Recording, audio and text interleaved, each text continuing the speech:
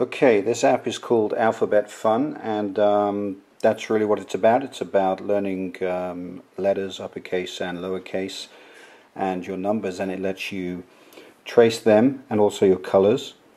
Uh, so let's open that up.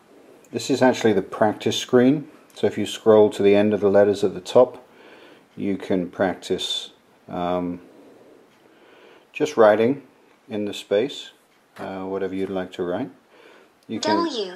click on a letter and it'll show you how the large, uh, the caps and the, and the small letters should be written uh, with a couple of words that use the letter W in this instance so you can trace over those.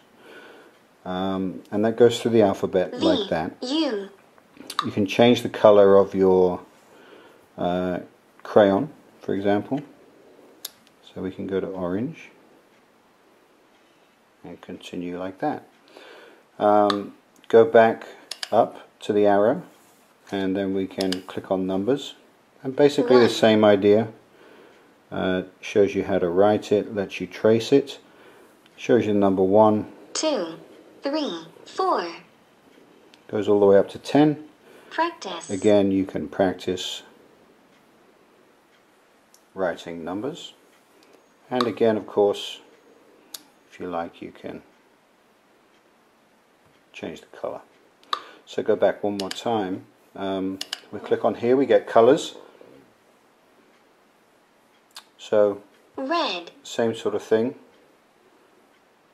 Again practice tracing.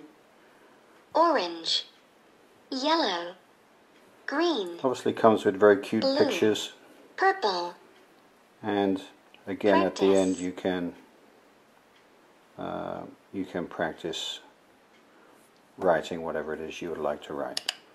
So all in all, Alphabet Fun is exactly what it says it is. A very simple program uh, that lets you play around with uh, tracing and colors and um, learn some numbers and some letters as you go.